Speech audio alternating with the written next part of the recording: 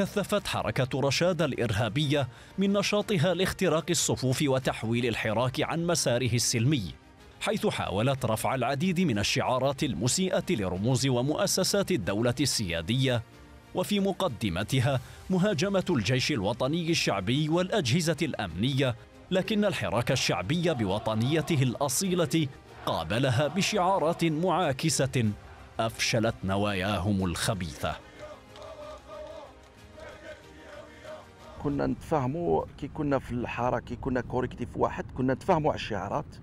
نهار انقسم الحراك وحتى إلى يوم الناس هذا ما همش متفاهمين على les slogans. يعني واللي كان beaucoup plus يصر على هذه الشعارات c'est الجماعة تاع رشاد يعني على رأسهم العربي زيطوط خاصة التركيز التركيز على شعار تاع مخابرات إرهابية تسقط المافيا العسكرية.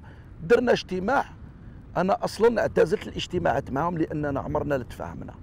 دائما الدبزة دائما المشاكل عمرنا لا اتفقنا على تينيرار واحد ولا على دي سلوغون ولا عمرنا لا اتفقنا على عمل منظم.